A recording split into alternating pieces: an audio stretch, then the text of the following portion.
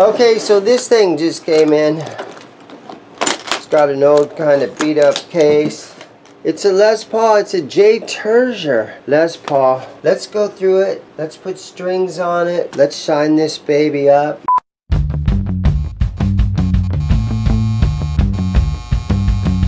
Yeah, so J. Terzier. That's how I pronounce it. I could be wrong. Other guys got different pronunciations. Um, I don't see a serial number on it, but it is set neck construction, glued in, right? And it's got the humbuckers and it looks very Les Paul. It does have a little, uh, what do you call this cut right here? A Florentine cut? Let's test this out now.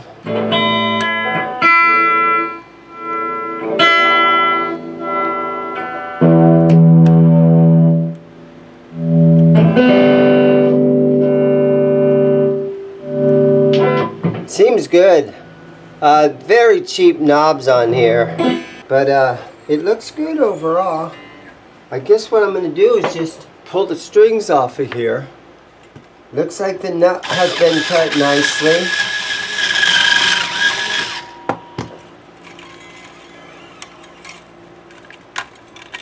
Alright, ding ding, it meant that there's a, uh, it's a customer at the front door, so I'll be right back. Okay, I am back. I am a one-man operation down here. So if I'm back here working on a guitar, making a video, or whatever I'm doing, uh, if somebody comes in the front door, I have to, uh, I have to take care of my customers. One-man operation. But you know what? I've had good. I've had guitar shop owners come in here, and they're like, "Oh yeah, man, I had a guitar shop, but my employees ruined it for me. My employees would steal from me. My employees this and that." And I'm like, "Dude, why didn't you just do it yourself then?" So try to learn from the other guys that come in, and you know. Learn from other guitar shops' failures, right? There was a guitar shop here in town, and uh, and he had little signs on the wall, little plaques, engraved brass plaques, right, or like gold or something, and it said, "Do not play the guitars," or "Do not touch the guitars." And so, I knew right off the bat, right then that I was going to be the opposite of that style of guitar shop. I want guys to come in and play the guitars because how are you going to know if you uh, like a guitar or not if you don't play it, right? There's also a guitar shop um, up in Phoenix and they do the same thing. They make you ask to play, can I play that guitar? And then they're like, no, no, no, you don't touch that one or they stand over you uh, while you're sitting there playing it. But I don't know, maybe uh, they have their reasons for doing that, but that's not my style. There could be, uh, maybe there's more theft over at that shop because it is in downtown Phoenix. And I'm more out in the suburbs of uh, Mesa. So uh, maybe it's got something to do with the neighborhood. But I do, I encourage guys to play the guitars.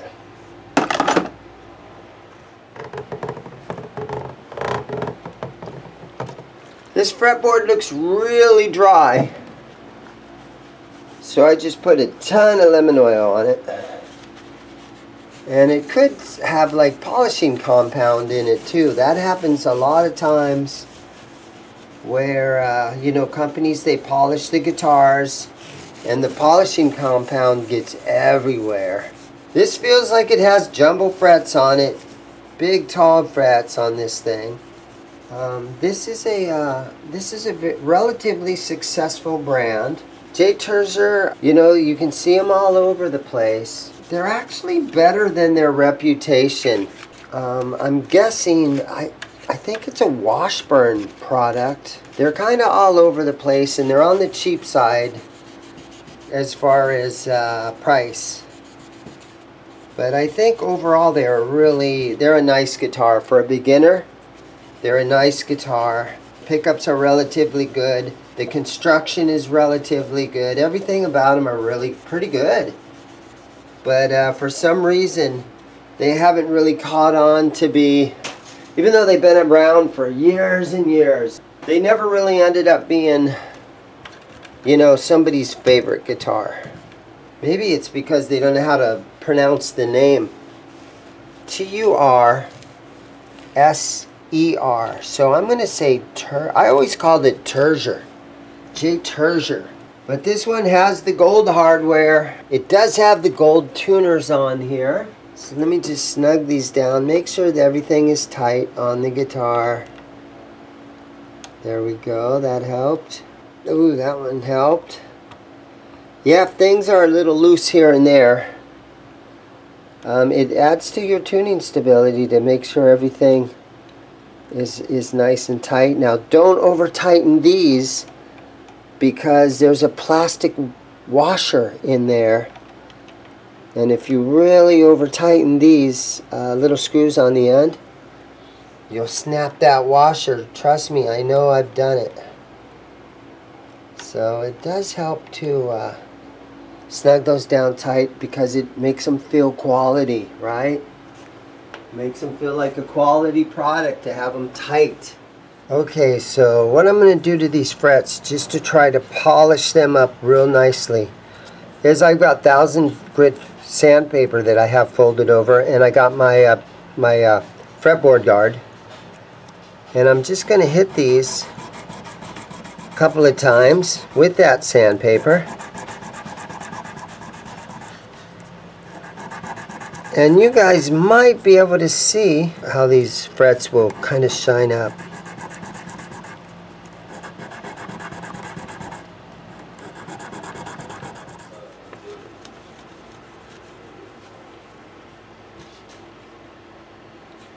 So the gold pickups here look really nice.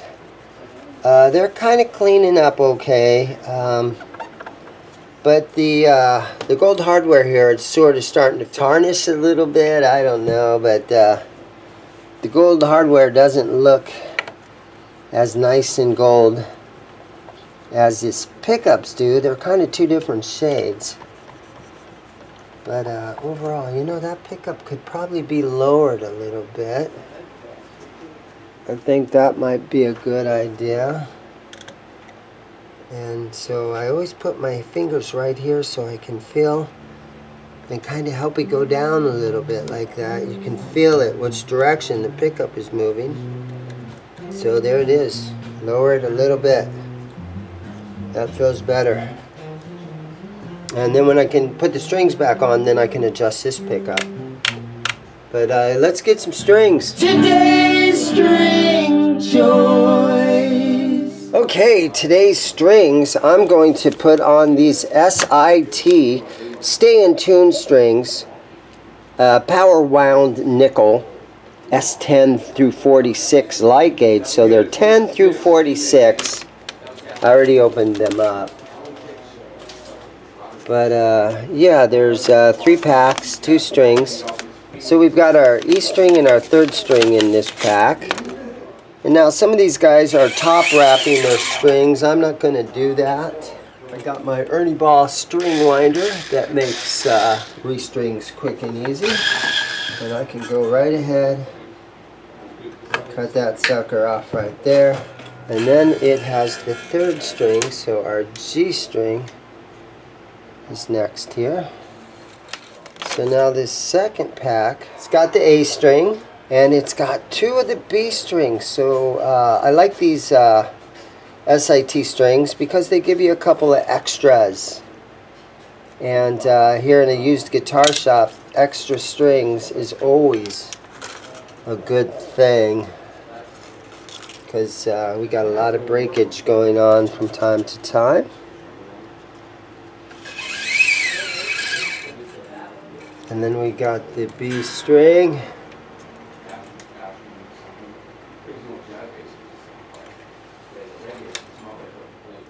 Gonna wind this string back up.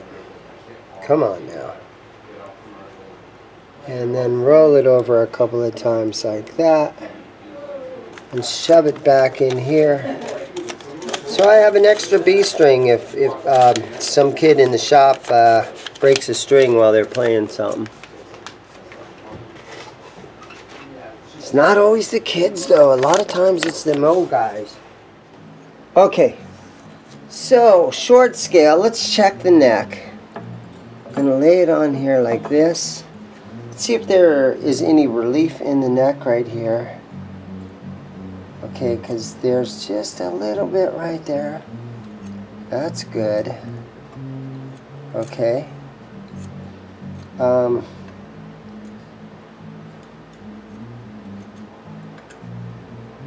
I, I kind of like that right there. It's a little bit of relief. So I'm not going to mess with that. Okay, I am going to raise this side just a little. Because she's a little buzzy. Oh, come on now. Don't mess it all up. There we go.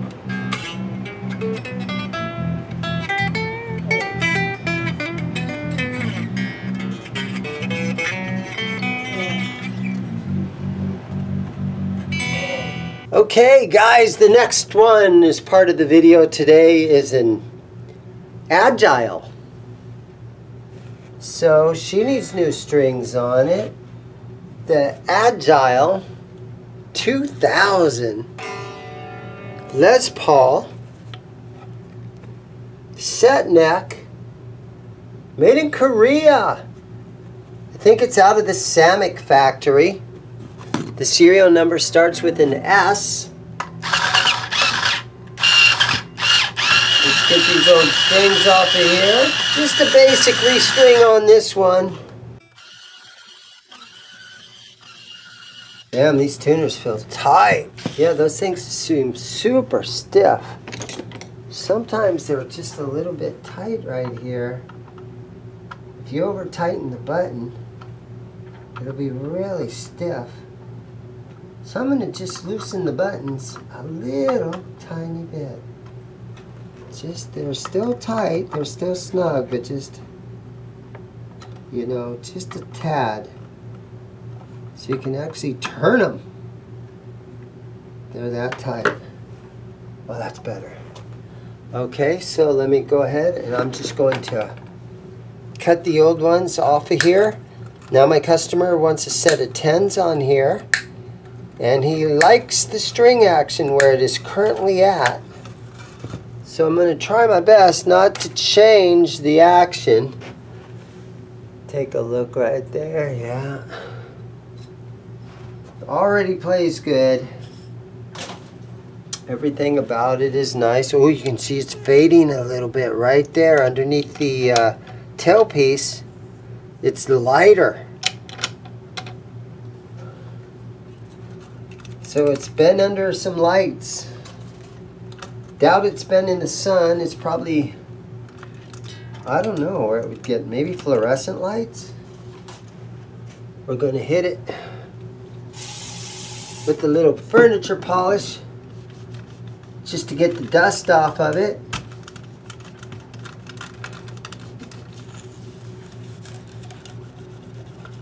Shine up these chrome pickups.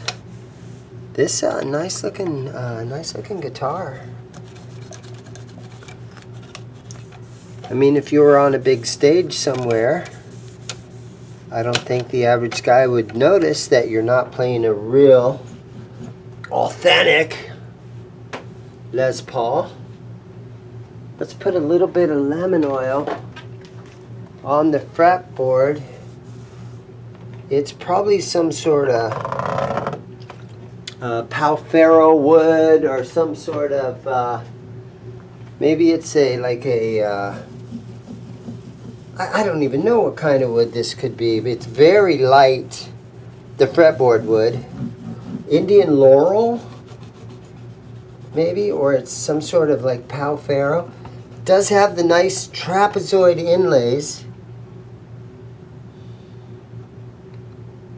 And uh, they feel really smooth. You can't really feel like where they have been. Uh, they they were installed very nicely. You can't feel them in there. The fret ends feel really nice. Usually nine times out of ten, when you have a binding on your guitar, you don't get much fret sprout. Okay, now let's just wipe off some of the excess there.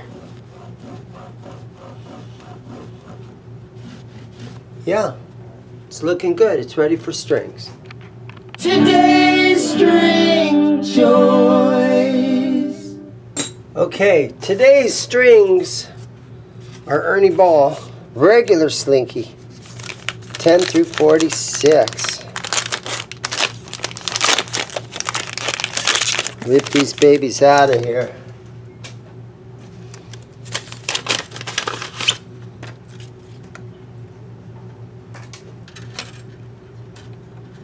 Okay, let's put them on here. Um, guys, if you're in this far into this video, thank you so much for watching. I really do appreciate the views. Gives me somebody to talk to while I'm in here restringing guitars. My band uh, that I play in has been on hiatus all summer long. So that's been a drag. And it's just so hot right now. And I, I'm in the Phoenix area. And it's so dang hot right now. Alright, so I'm going to go ahead and cut this end off of here.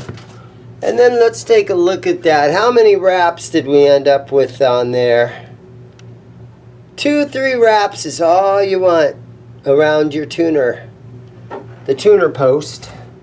You don't want to wind the string around the tuner, you know, six, eight, ten times because it looks really sloppy. But not only that, all that string on your tuner, that stuff will stretch too. Yeah, so these Saturday restrings, just something, you know, I string a lot of guitars and I'm just been lately I just been in the mood to you know show you guys almost everything that I work on everything that I restring I've just been letting the camera roll lately. So you're gonna see a lot of stuff. Uh, this guitar is just a customer's restring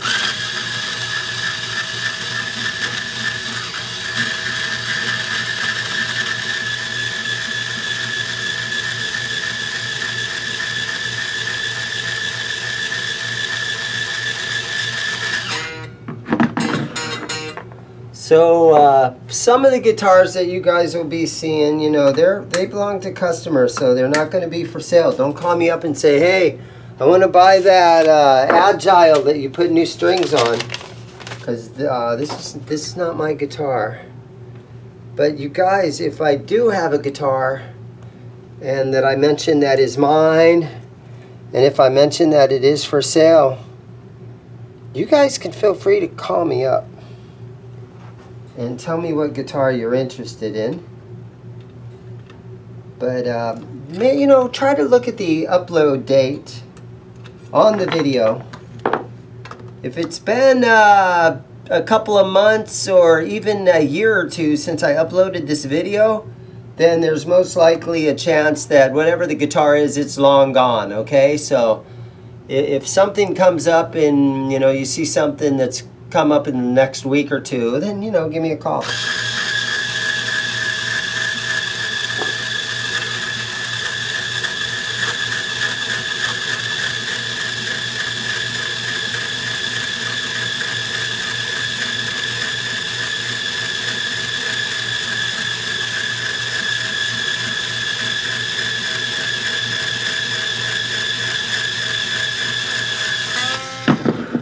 I also have been doing a, uh, a whole bunch of from garbage to glitter videos.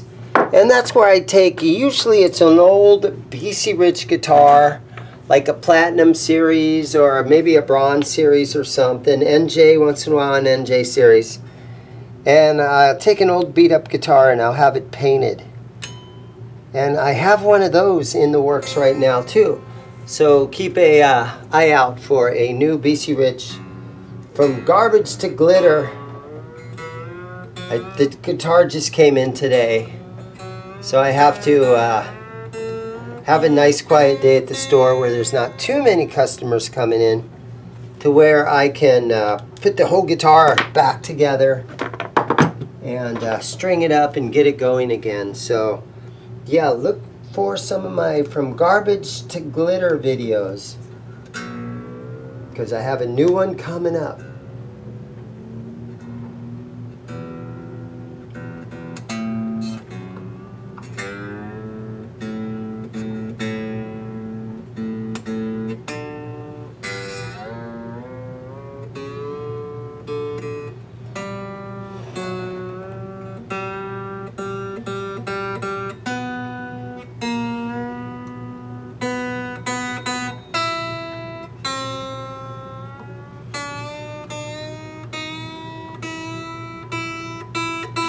Okay, so you got the guitar pretty close to being in tune. I just lay one hand down here to protect the nut. And we just kind of stretch these strings out a little bit. And you can kind of tug on the low E string and the A string pretty hard. But I mean, uh, once you get down to some of these higher strings, you'll break them if you tug on them too hard. The, the G string, the B string, and especially the E string you will break those things. So be careful, but tug on your strings a little bit. And again, remember to protect the nut down here, because if you just grab your E string and start, uh, it'll, it'll just break the nut. And I know that because I've done that. So it's kind of a boneheaded mistake. So you don't want that to happen. And sometimes even up here on the top of the nut, you know, you do the old Iron Man thing a couple of times. And that will help the um, string travel through the nut. And it'll stretch the string out a little bit. So let's see. So we've we've been able to stretch that. It's showing a D now. So we stretched that E string. Um, we stretched it down a whole full step. Our A string is went about a half a step there. Our D string is showing a C sharp, so yeah, you can really stretch them out. Okay, now, just for the hell of it, guys, I can, uh, in case any of you guys are interested in someday getting an agile guitar, I can, let's see, let's look at the pickup and see what they ohm out at. So make sure your volumes are all the way up. And I just put a cable in the output jack and I get my multimeter out. And uh, let me see if I can put it somewhere where you guys can see that. There we go. So our bridge position looks like it ohms out at zero, nothing, huh. Oh, had the volume down. Let's try it again.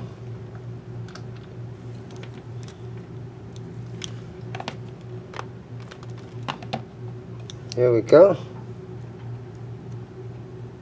It ohms out at 8.19. And so all the way up in the neck position, 7.54. So very, very Gibson-ish, right?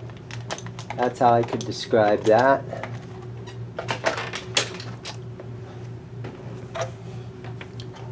And we can also look at our fretboard radius.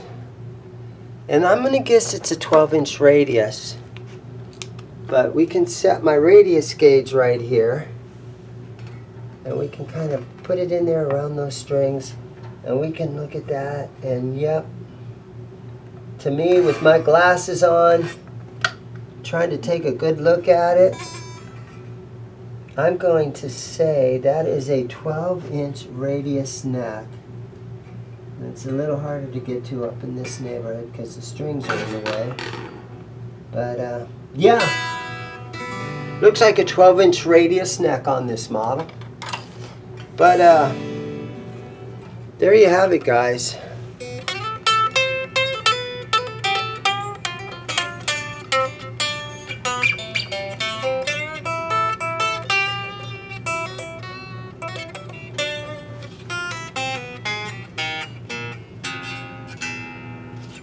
Quick restring. Let's get on to the next guitar. Okay, I got this thing on the bench. This thing got uh, traded in uh, a couple weeks back.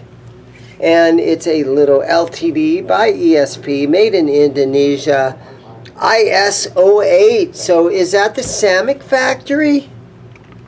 You guys might be able to let me know. The serial number starts with an IS.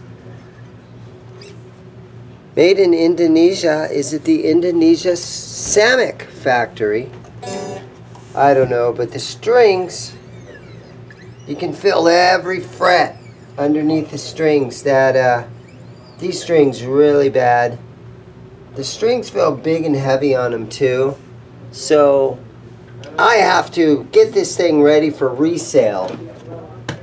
So the strings are coming off just get him out of here.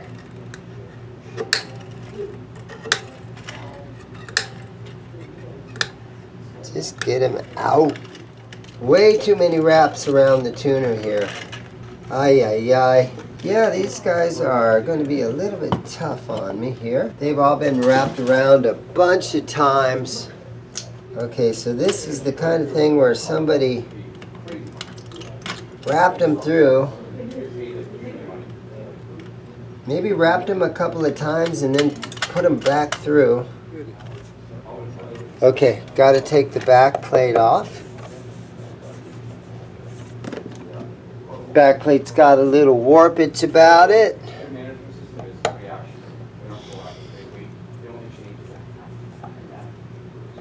Is it possible that this back plate fit perfectly at one time and then um, and then it shrunk, causing the backplate to um, to bulge.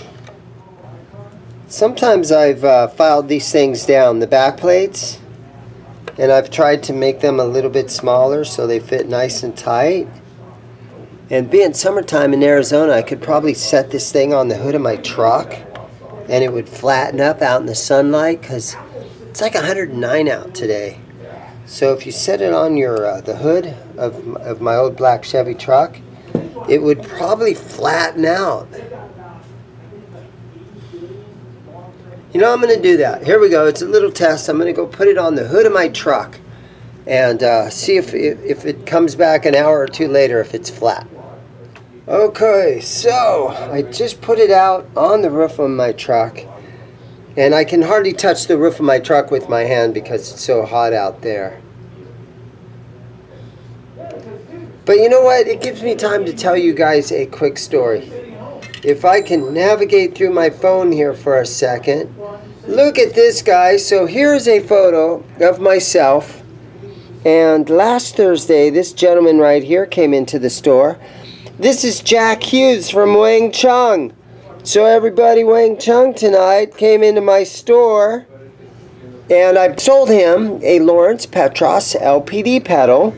So apparently Wang Chung was playing a show here at the Celebrity Theater in Phoenix, Arizona.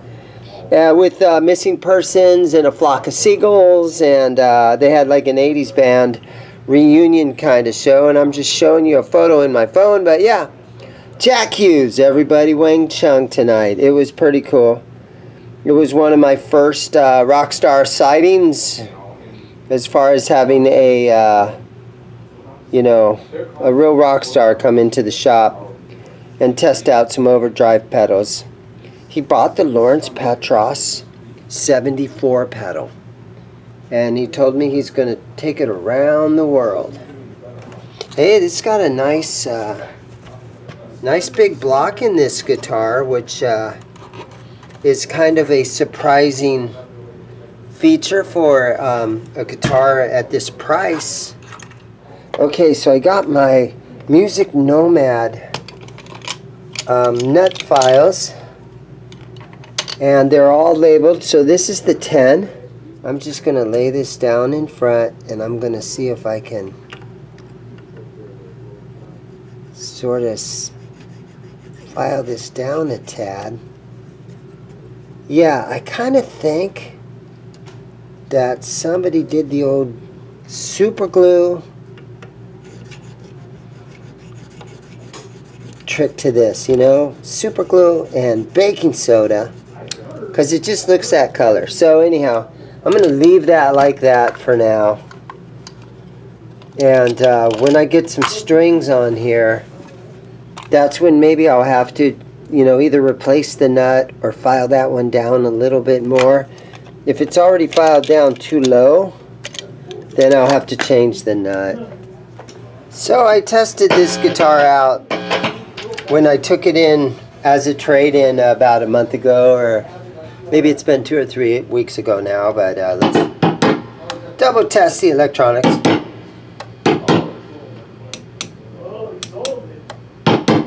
Three-way switch.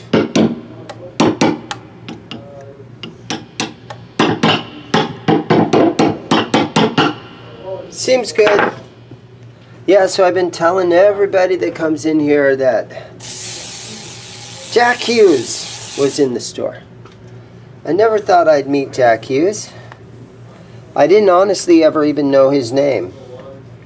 It was just everybody knows him as Wang Chung, right? You probably would have even thought that was his name, Wang Chung.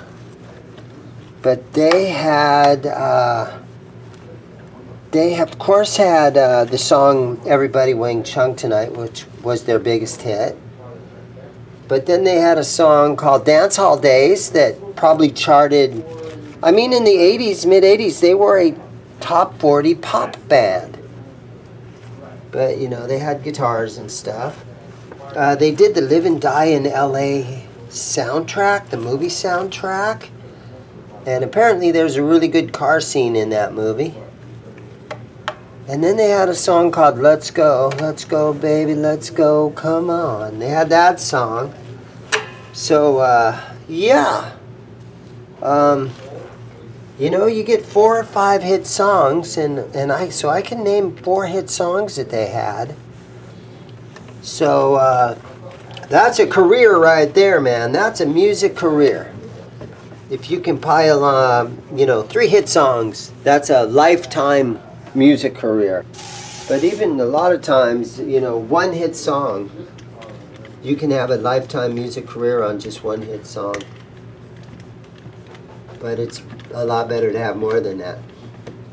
But they were, uh, like I said, they were playing at the Celebrity and I didn't go to the concert, but it would have been fun. But, uh, you know, Flock of Seagulls was the uh, headlining band that night. And just overall popularity of the uh, Flock of Seagulls was, I guess, they're just a little bit bigger, bigger than Wang Chung. Even though Wang Chung, I think, might have had more songs in the top 40. But, uh, I could uh, honestly be wrong about that too. Flock of Seagulls had I Ran, and um, uh, what they had a song, a uh, love song of some sort. That's real popular. I guess they're just the Flock of Seagulls. Their two or three hit songs were more popular. But you know, you always you have a used guitar shop, and I've been in business for. Uh, probably about, you know, at least six years now, going on seven years. And so you wonder, oh, I wonder who's going to come in my shop. And you always hope it's, you know, Joe Bonamassa or somebody. But uh, the guy from Wang Chung, you know what? I'll take it, man. That's a, that's a good start.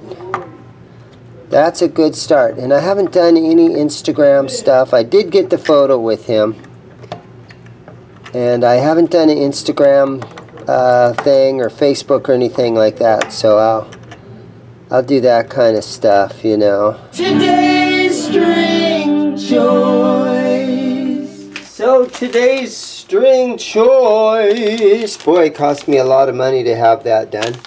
Um, Ernie Ball, regular slinky, 10 through 46. Maybe a little heavier than I like. But this guitar, again, is intended for those guys that want to play heavy. So there's going to be some drop D things going on. Uh, the whole guitar might even be set up a half step down, so E flat. You know what, let's just go ahead and do that. Let's just go ahead and put it in E flat right off the start.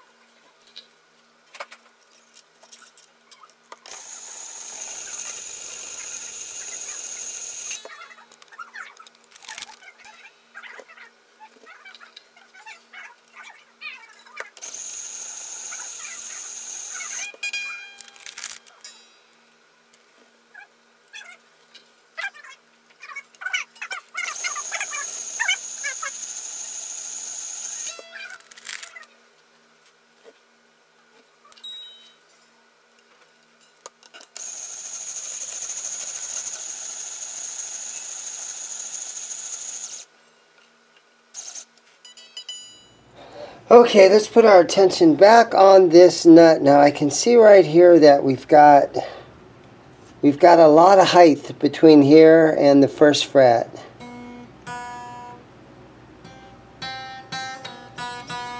So I think what I'm going to do, yeah, it's kind of flopping around in there. I'm going to loosen this string and kind of get it out of the way. Then I'm going to file this thing down a little bit. Get right this direction a little bit.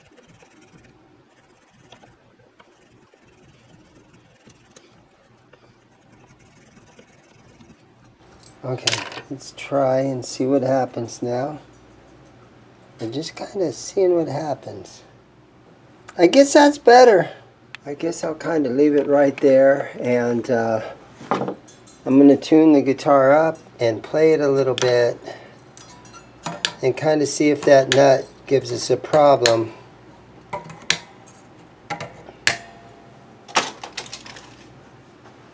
And we'll just gotta, again, all we can do at this point, or all I want to do is tune it up a little bit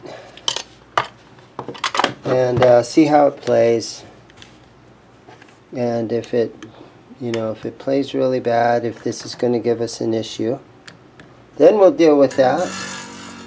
Two hours later. I just pulled the pickguard off the off the truck. Okay so look at that back plate.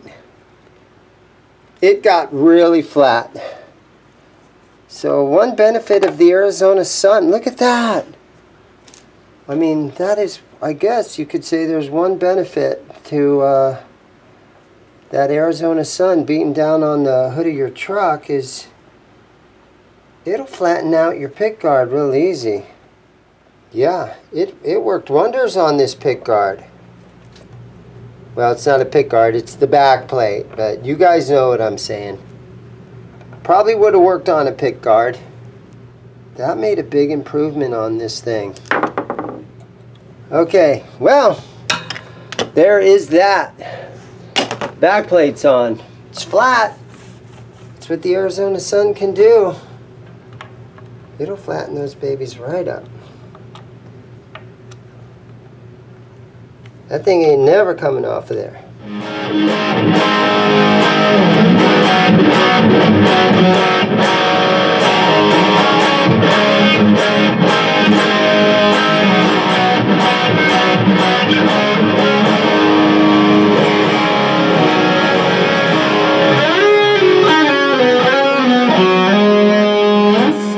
This thing plays really good now. Fun guitar to have in your collection, guys.